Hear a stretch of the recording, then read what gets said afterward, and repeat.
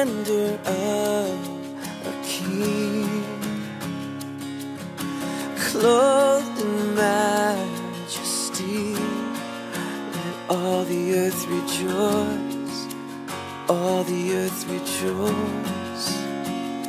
He wraps himself in light, and darkness tries to hide. Trembles at his voice, trembles at his voice. How great is our God? Sing with me, how great is our God,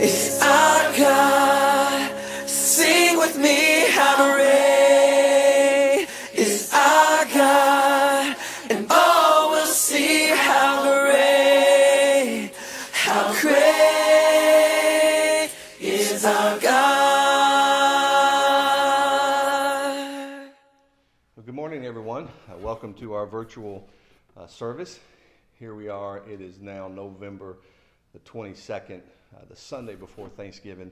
You know, in, in one way, this has been an incredibly slow year, and I know everybody's ready to get 2020 over with, and I'm ready to get it over with. Uh, but in another way, it's been an incredibly fast year. Here we are, Thanksgiving, then the holidays hit us, and and uh, before you know it, it will be 2021, and uh, hopefully, um, at 2021, we'll be able to go back to in-person uh, services. Uh, do be in prayer um, for uh, our church. There are several people who are related to our church. They either come to our church or they're family members of people who come to our church, and I'm not going to mention any names because of HIPAA, but but they have COVID and uh, or they are quarantined because their family has COVID. So uh, so let's just be in prayer for one another that um, uh, that all of this would come to an end and uh, that those who are sick will recover with uh, with no problem. Some of them are asymptomatic, some of them are symptomatic, but let's just be in prayer for our church. This morning, um, I'm preaching from Psalm 100, which is a psalm of thanksgiving, but I want to read for our scripture Psalm 136, uh, which is also a psalm of thanksgiving. So if you have your Bibles, uh, open them to Psalm 136 and let me read this psalm. It's, it's a little bit long, 26 verses, and, uh, and then I will pray.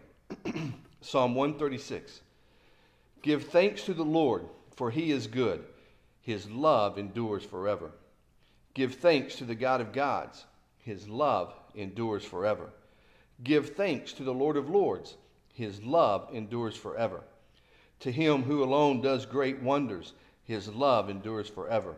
Who by his understanding made the heaven, heavens, his love endures forever. Who spread out the earth upon the waters, his love endures forever. Who made the great lights, his love endures forever. The sun to govern the day, his love endures forever the moon and the stars to govern the night. His love endures forever. To him who struck down the firstborn of Egypt, his love endures forever, and brought Israel out from among them, his love endures forever. With a mighty hand and outstretched arm, his love endures forever. To him who divided the Red Sea asunder, his love endures forever, and brought Israel through the midst of it, his love endures forever but swept Pharaoh and his army into the Red Sea. His love endures forever. To him who led his people through the desert, his love endures forever. Who struck down great kings, his love endures forever. And killed mighty kings, his love endures forever. Sihon, king of the Amorites, his love endures forever. And Og, king of Bashan, his love endures forever. And gave their land as an inheritance, his love endures forever an inheritance to his servant Israel. His love endures forever. To the one who remembered us in our low estate, his love endures forever. And freed us from our enemies, his love endures forever. And who gives food to every creature, his love endures forever. Give thanks to the God of heaven, his love endures forever. Let's pray. Father, we do thank you uh, for this day and for uh, our lives and just uh, for you being God. And Father, as this psalm says, we are eternally grateful and thankful that your love endures forever. It has not forgot us, it has not forsaken us, but yet your love is still there. And so, Lord, may we dwell on that today. May we rejoice in you and the fact that your love does endure forever. And Father, may we give thanks even during uh, what has been a difficult year. So, Lord, we love you. We ask now that you would come and just meet with us and encourage our hearts. In Jesus' name, amen.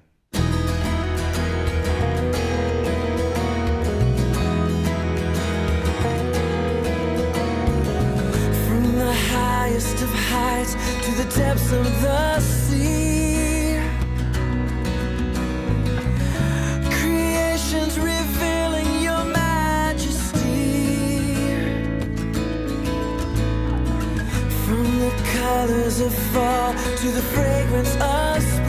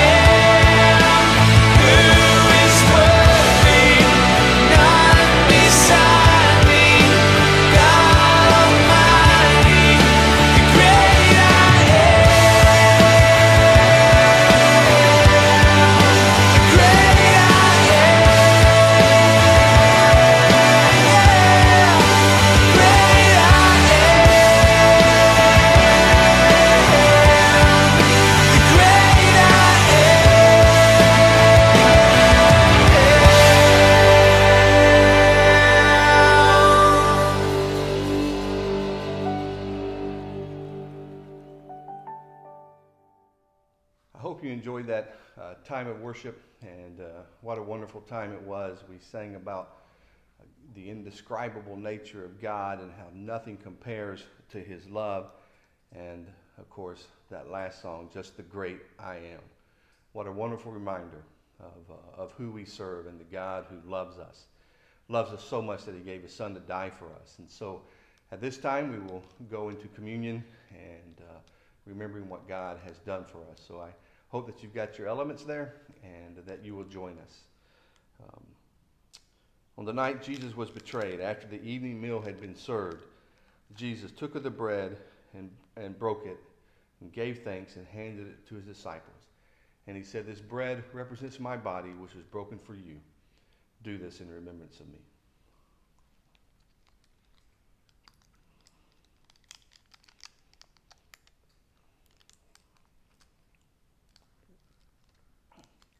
Then he took of the cup and um, blessed it and drank it and passed it around to his disciples. And he said, This cup represents my blood, which is poured out for the forgiveness of your sins. Do this in remembrance of me.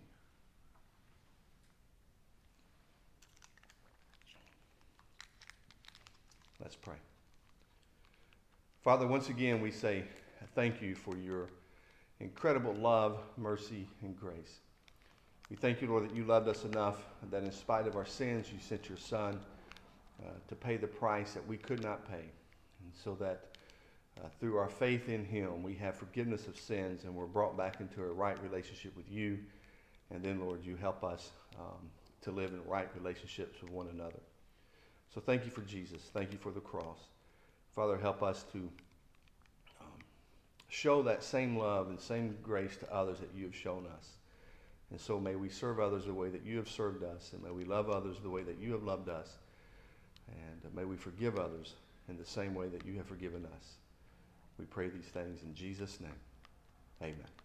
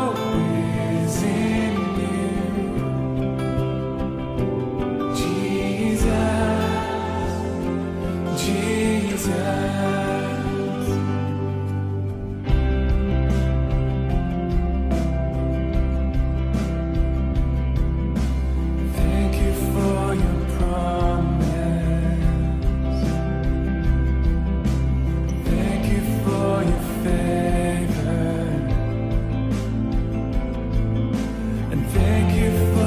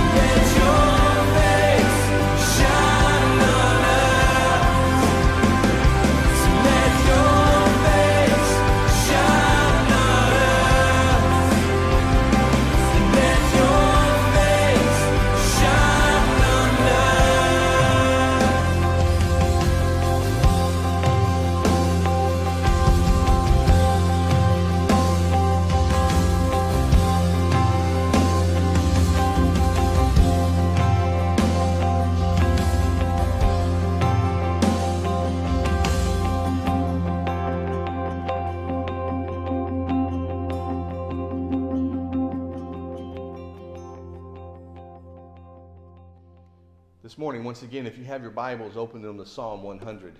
And uh, the, this is probably the most um, familiar psalm about Thanksgiving. And, uh, and so the title of the message is Enter, Enter with Thanksgiving, Psalm 100. You know, without a doubt, I don't think, you know, I don't think this is going to surprise anyone. Uh, but without a doubt, this Thanksgiving will be unlike any other Thanksgiving any of us um, have ever gone through. Uh, the pandemic has changed everything, and now it's changing how we celebrate. And I assume if it lasts, you know, no one's going to cancel Christmas, so don't fear that. But probably the same things will be said around Christmas and New Year's about not gathering in large groups. Uh, this pandemic has changed everything. Some experts uh, say that we should not, um, or that we should cancel our large family gatherings. The state of, the state of Oregon, for example, uh, has said that there should be no gatherings, even inside homes, of more than six people.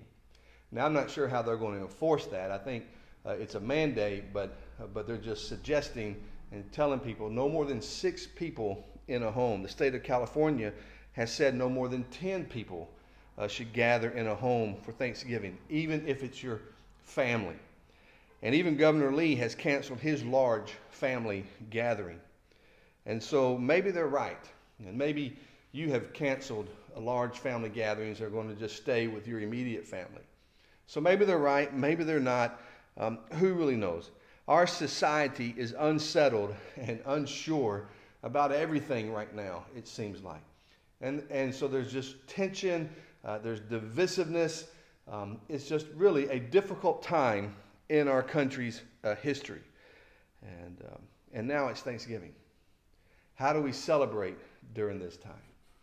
And of course, after Thanksgiving is Christmas. I heard someone say this week, and I thought it was good, and so I want to share it with you. And this is really the basis uh, of, the sermon. But I heard someone say this this year at Thanksgiving, instead of complaining about all we have lost in 2020, let's be thankful for all that we still have. And let's be honest, we still have a lot. We have each other. Even though we're separated uh, right now, we still have each other. We have Jesus. We have faith, hope, and love. We still have family and friends. And of course, we have football. College basketball starts this week. And there's the possibility that the Toronto Raptors will play their home games in Nashville this year because of travel restrictions in Canada. And I don't know about you, but I'm excited about that possibility. So we still have much for which to be thankful, even during this time. Thanksgiving Day is really a distinctive holiday. It doesn't commemorate a battle, it doesn't commemorate anyone's birthday. Um, it's not an anniversary of anything. It's simply a day set aside to express our thanks to God. I like Thanksgiving more and more because it's the least commercialized holiday that we have. And sometimes that may seem like it's changing, uh, but if you think about it, how many commercials or television shows or or um, people have even talked about Thanksgiving. This it's like it's under the radar. And by the way, just uh, so you will know this, this is something to be thankful for. It's also something exciting. Um, Samantha, uh, along with St. Paul's Episcopal Church and First Missionary Baptist, uh, Samantha helped organize almost 100 Thanksgiving food baskets that will be distributed through our community center and that's also 100 turkeys. We have a lot to be thankful for. One of the most beautiful psalms of thanksgiving is the 100th Psalm. Psalm 100 is a psalm of thanksgiving, but it's also a psalm of praise. And so let me read it. It's five verses long, so let me read it, and then we'll back up and look at it a little closer. But I want to read it in its entirety first. Psalm 100. Shout for joy to the Lord, all the earth. Worship the Lord with gladness. Come before him with joyful songs. Know that the Lord is God. It is he who made us, and we are his. We are his people, the sheep of his pasture. Enter his gates with thanksgiving and his courts with praise. Give thanks to him and praise his name. For the Lord is good, and his love endures forever. His faithfulness continues through all generations. Of all those who are called to give thanks to him and to praise his name, our names should be at the top of that list. The 100th Psalm was written to the people of Israel. And it's as if God was saying to the Israelites, when you come into the promised land and settle down in your warm homes and you have plenty to eat, don't forget me. I led you out of Exodus, uh, out of Egypt. I led you out of the wilderness and I brought you into a land flowing with milk and honey, just like I said I would. But it doesn't take long, and we all have this same experience. But if you know the history of the Israelites, it doesn't take long uh, for, for the people uh, to leave God. And so it doesn't take long for us to realize that the people of Israel needed a reminder. And I'm afraid that we need that same reminder too. Maybe God had us in mind when he wrote Psalm 100. Did you notice to whom the psalm was addressed? The first verse says that it's addressed to all the earth. And the last verse says that it includes all generations. And so, this message of thanksgiving is so deep and wide that it applies to every person in every era and in every stage of life, and it applies to you and me as well.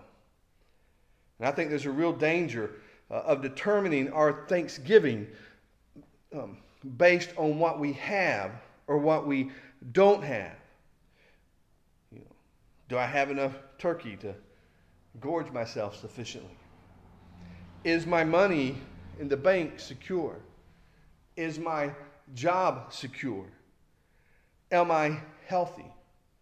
And we let those things determine whether or not we are thankful or not thankful.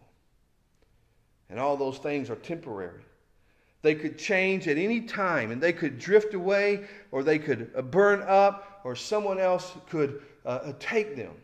And again, what we've learned in 2020 is how quickly things can change. The only thing we have for sure is our relationship with God. And really, that is what the 100th Psalm emphasizes. In verse 1, you'll find the name of the Lord, and it's in all capitals, which again signifies that the Hebrew word is Yahweh, God's personal name. So in verse 1, you find the name of the Lord. In verse 2, once again, you find the name of the Lord. In verse 3, guess what? You find the name of the Lord again. And then in verse 4, it says, Enter his gates with thanksgiving. And then in verse 5, once again, you find the name of the Lord. Every verse is emphasizing that the basis of our thanksgiving is God. As we look carefully at this psalm, you'll also discover that there are five commands given. And so, five commandments, five thanksgiving commands. The first command is in verse 1, and it says, Shout for joy. It's a command. Shout for joy to the Lord, all the earth. That phrase, shout for joy, means to shout with the force of a trumpet blast. It's like a, a war cry. You, you shout it from the very depths of your being. Maybe God has solved your problem. Maybe God has shown up and given you the direction that you know you need to go, go to in life. Maybe God has provided you with a blessing and you realize that this blessing has come from God. Maybe you're going through a difficult time and you know that the only solution is trusting God. Maybe you think God has done nothing for you and he seems distant. But even then, regardless of the situation and the circumstances and your feelings, we are still commanded to shout for joy. Roland, Allen tells a story about a, a veteran missionary who came up to him one day after he had delivered his sermon. And the missionary introduced himself and said, I was a medical missionary for many years in, in India, and I served in a region where there was progressive blindness. People were born with healthy vision, uh, but there was something in that area that caused people to lose their sight as they grew older. The missionary explained that he developed a treatment that stopped this progressive blindness. And so people came to him and he performed his treatment. And they would leave realizing that they would have become completely blind, but because of him, their sight had been saved. But then he went on to say that the people never said thank you because that phrase thank you was not in their dialect. Instead, they spoke a word that meant, I will tell your name. So, whenever they went, uh, what they were saying is that they would tell the name of the missionary who had cured uh, their blindness. They had received something so wonderful that they knew they couldn't keep it to themselves and they had to share it. And that is what this psalmist is saying. Suddenly, you realize that God has been so good to you that you can't keep it inside anymore. And so, from the depths of your being, you shout your joy into the Lord. You don't just say thank you because thank you is not enough, but rather you tell his name to everyone. You shout for joy. But then the second command, the first part of verse 2 worship the Lord with gladness. Oh, how important that is today. You know, worship is a lifestyle. worship is not just something you do on Sunday when you gather with other people. And so we have to learn this lesson during this time that while we're separated, we still worship. And we worship with gladness. And worship is a lifestyle. The King James Version translates that phrase, worship the Lord, by saying, serve the Lord with gladness. So one translation says worship, another translation says serve. But in the Bible, there is always a connection between worship and service. This morning, as I was reflecting on this, um, I thought to myself, you know, a lot of people ask, how can I keep doing what I do when it seems to be one defeat after another and, and it's just, you know, tough situations and people take advantage of you. And, and I've always said, well, you know, the way you love God you can't see is by loving those you can see.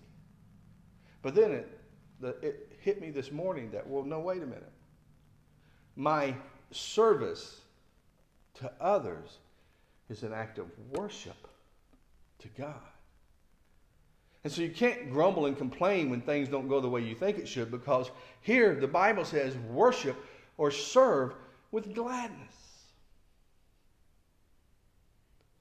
One way we worship God, the God that we cannot see, is by serving those we can see. And then he gives us a third command in verse 2. He says, Come before him with joyful songs. Have you noticed that in these first three commands, uh, God has said, I want you to be joyful, shout with joy, worship or serve with gladness, and now sing joyful songs. God wants us to be joyful, and joy is not dependent on the circumstance.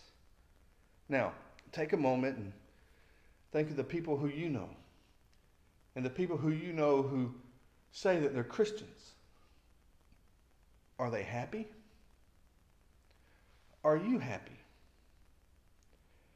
Or does it seem like they always have a scowl on their face, and always complaining and griping? Now, why is that? God tells us to be joyful and to sing joyful songs. And if He tells us that, why are we so depressed and sad all the time? Why are antidepressants the most prescribed medication in our country? The psalmist says, Come before God and serve Him and sing His praise with joy in your heart. And then He gives us a fourth command in verse 3. He says, Know that the Lord is God. It is He who made us, and we are His. We are His people, the sheep of His pasture. You know, God took every bone, every joint, and welded them together with, with sinews and muscles and, and covered them with skin and gave us eyes to see and a nose to smell and a brain to think and fingers that can pick things up. God made us inside and out. And He made us the way that He wanted us to be. He made you exactly like He wants you to be. And He made me the way He wants me to be. God is our maker. God doesn't make junk. We were created in His image. Therefore, give thanks for who you are and who God has created you to be. And then he says, We are his people, the sheep of his pasture. Now, most, most of us want to be shepherds, not sheep. I mean, it's no fun being a sheep. But the problem is, we don't know where the still waters are or where, or where the green pastures are. And every time we go out searching for them, we inevitably end up in the wrong place. And God is saying, You be the sheep.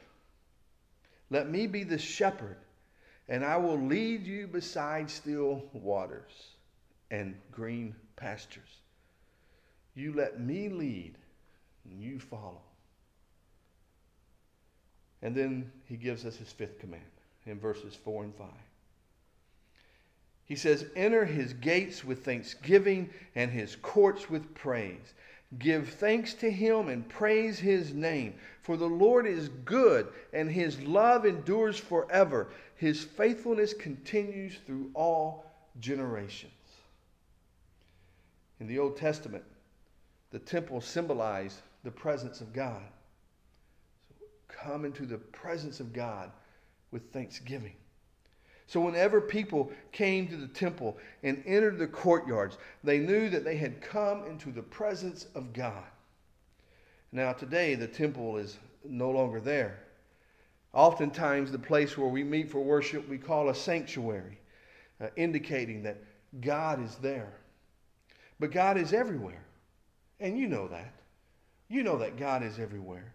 And so that means that God is with you as you drive to and from work every day, keeping you safe.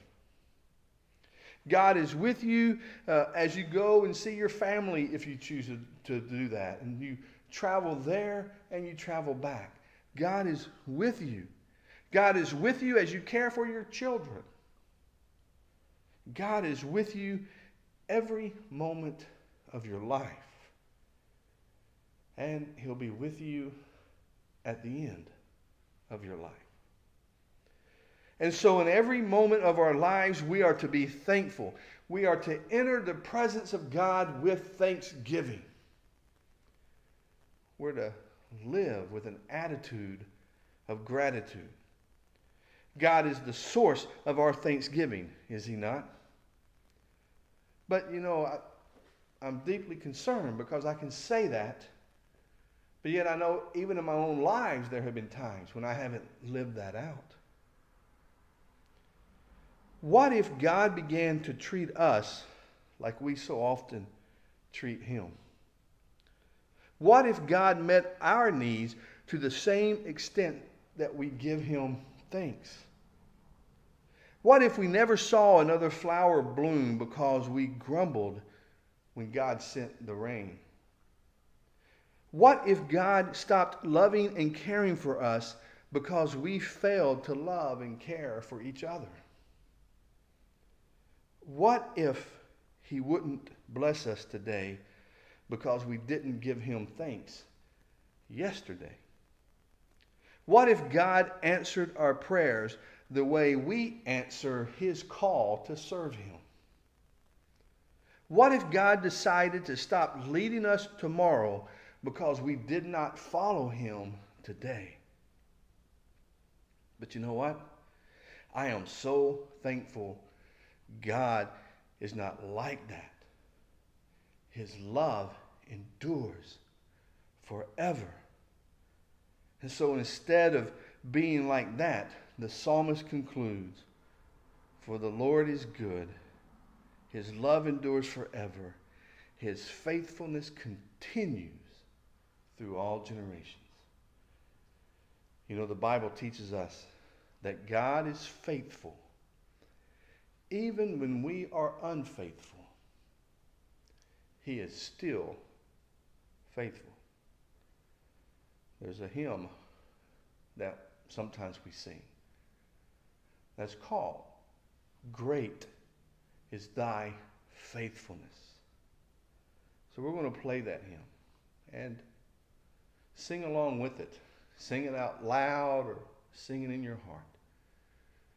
But as this hymn is played for you, think and meditate and sing about the great faithfulness of God.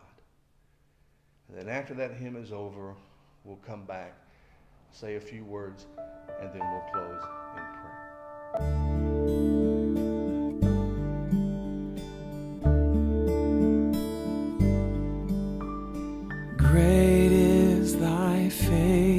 faithfulness, O God my Father. There is no shadow of turning with thee. Thou changest not, thy compassions, they fail not. As thou hast been, thou forever